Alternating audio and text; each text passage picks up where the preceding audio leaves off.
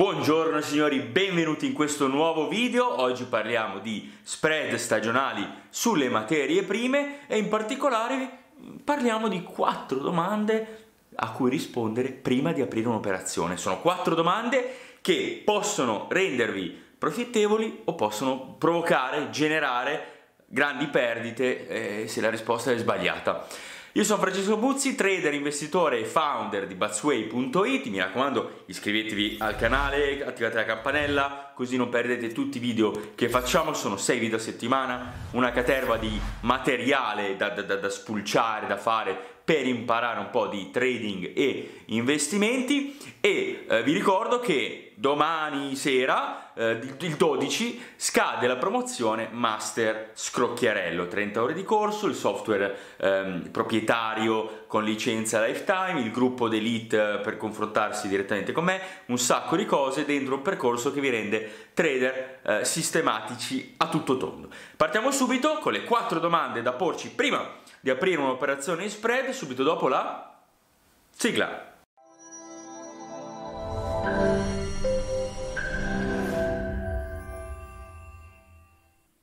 Prima domanda da porci prima di aprire un'operazione. Perché aprire questa operazione? Quali sono le motivazioni che ci hanno spinto ad, apri- ad aprire un'operazione? Alcune risposte sbagliate potrebbero essere per via di un indicatore, per via di, dei raccomandati di Seasonalgo, per via di uh, un consiglio di un amico, perché uh, sulle trend line, i doppi minimi, perché ho toccato dei livelli di supporto e resistenza. Queste sono risposte sbagliate che possono anche farvi finire un'operazione in guadagno, ok? Eh, ricordiamoci che se sbagli non vuol dire che eh, tutti i trade sono sbagliati, eh? però sul lungo periodo rischia veramente di farvi male questo tipo di approccio. Sulle materie prime queste cose non contano, bisogna capire cosa muove il prezzo. Ad esempio sul natural gas noi sappiamo che d'inverno e in parte d'estate il prezzo sale, sale grazie ai consumi di 350 milioni di americani. Noi sappiamo ad esempio che il prezzo della soia d'estate inizia a scendere perché? Perché arriviamo da un momento di semina della soia, quindi di alto rischio, a un momento di raccolta verso fine autunno, inizio inverno, in cui abbiamo la raccolta, quindi abbiamo più soia, hm? quindi abbiamo più offerta e quindi il prezzo scende. Domanda e offerta, domanda e offerta, niente di tracciato sul grafico, non ha senso quella cosa lì. Quindi perché aprire questo, eh, questa operazione? Per quella stagionalità lì, per questa giustificazione e perché il prezzo è buono. Non si guarda il prezzo con gli indicatori, non ha alcun tipo di senso, io consiglio di guardare il prezzo con gli staked, che è una misura molto più concreta, assoluta e eh, corretta, ok? Quindi, prima domanda, perché apri quell'operazione? La apro perché su questa materia prima c'è una stagionalità che posso sfruttare, cioè un movimento di prezzo dato dalle caratteristiche di quella materia prima che posso sfruttare.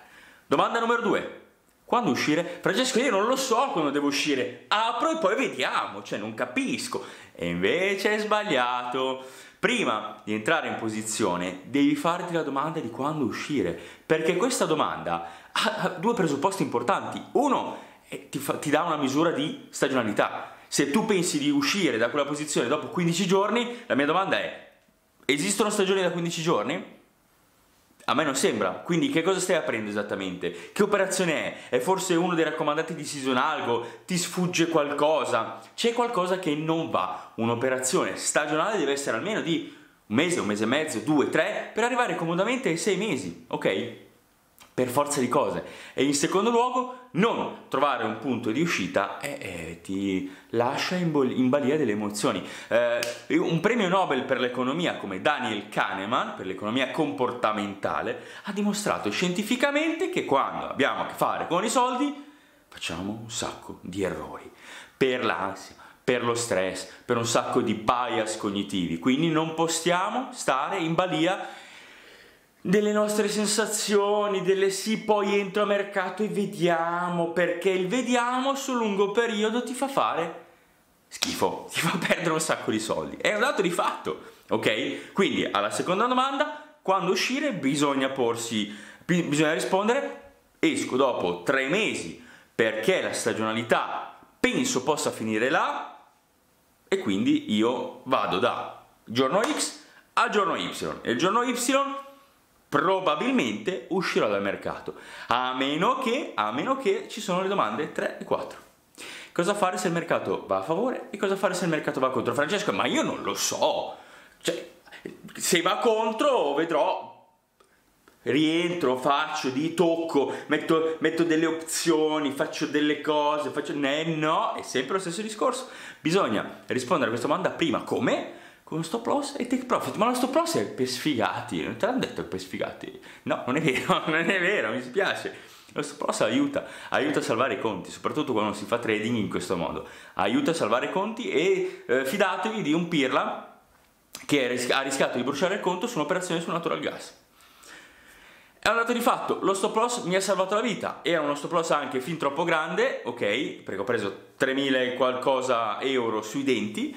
E era stato un mio errore, erano due anni e mezzo fa, in autunno del 2018, ho fatto un errore grave e lo stop loss mi ha salvato la vita. Lo stop loss è una misura di rischio anche, quindi io eh, decido uno stop loss per un determinato spread da 300 euro e questa è la massima perdita che posso sopportare.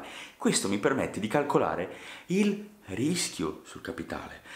Una uh, operazione non può, in caso di perdita, farmi perdere il 10% del mio capitale. È una follia! Cioè se ne sbagli 3 per il 30%, per recuperarlo è devastante, devi fare una performance da capogiro, non ha senso, bisogna gestire e moderare il rischio. Quindi lo stop loss è una misura di rischio. Per chi non lo sapesse, perché ogni tanto qualcuno ancora non, non, capisce questa cosa qua, ma ogni operazione non può occupare più del 2-3% totale del capitale a disposizione per gli spread. È importantissimo, quindi mettere lo stop loss. Uno, ci salva il conto, due, ci dà una misura quantitativa di rischio, lo percepiamo, è quello. E quindi possiamo decidere quanti contratti aprire, che stop loss mettere, se aprire o no l'operazione. Non è detto che tutti gli spread si possano aprire. Succede, ok? È fondamentale. Il take profit è un po' meno importante, però ci dà una valutazione, cioè un po' meno importante nel senso che non incide direttamente sul rischio ovviamente, però ci dà una valutazione di, uh, di, di performance. Quindi non stiamo lì a, a, a farci delle domande, no? Perché allora, lo spread è andato in direzione, però io ho letto sul Corriere che la soia non è stata importata. Allora aspetto e poi vediamo. Aspetto e poi vediamo, comunque non va bene, quindi è meglio imputare un bello stop loss, eh, un bel take profit, magari usare eh, gli alert di Season Algo, appuntarsi qualcosa, mettere gli ordini in macchina su Interactive Broker, così che vengono eseguiti in automatico, sono tutte cose fattibili, ma vanno messe. Queste quattro domande ci permettono di affrontare un'operazione sugli spread stagionali completa, piena di probabilità della nostra. Questo non vuol dire che ogni operazione andrà in positivo, ragazzi, non è così, ci mancherebbe, ma sul lungo periodo noi abbiamo la probabilità della nostra, noi lavoriamo bene e noi andiamo a guadagnare. Quanto? 20-30% medio anno. Ah, ma quest'anno hai fatto lo zero. 20-30% medio anno su un arco temporale abbastanza lungo, perché questo è il nostro orizzonte. Ok? Non stiamo a fare il giochettino, il trading non è quella roba lì, quindi noi dobbiamo essere professionali mh, hm, e affrontare i mercati con gli spread stagionali sulle materie prime con queste quattro domande che ci permettono di aumentare le nostre probabilità, aumentare le nostre chance. Nel momento in cui sentite qualcuno non rispondere a queste domande è chiara manifestazione di ignoranza. Non è un, un, un difetto, cioè, nel senso è normale, ognuno di noi è ignorante per alcune cose se mi chiedi della fisica quantistica, eh, io ce li ho anche i libri di Feynman, eh, il mondo dei quanti, eccetera. Però dire che capisco qualcosa, no, e quindi sono ignorante in quello. Ci sta. L'importante è che non prendete consigli operativi da quelle persone perché è un problema sul lungo periodo e non rispondere a queste domande, non avere una vera strategia porta perdita. Su questo non c'è niente da fare. Spero di essere stato d'aiuto con queste quattro domande. Spero che il video vi sia piaciuto e spero di vedervi in diretta il 12 pomeriggio eh, sera, quindi domani, per la chiusura del Master Scrocchiarello. Per me è stato un piacere, noi ci vediamo tutti i giorni alle 14 con un video, domenica alle 10 con la Buzz, un sacco di appuntamenti. Comunque buzzway.it trovate tutto. Ciao, è stato un piacere.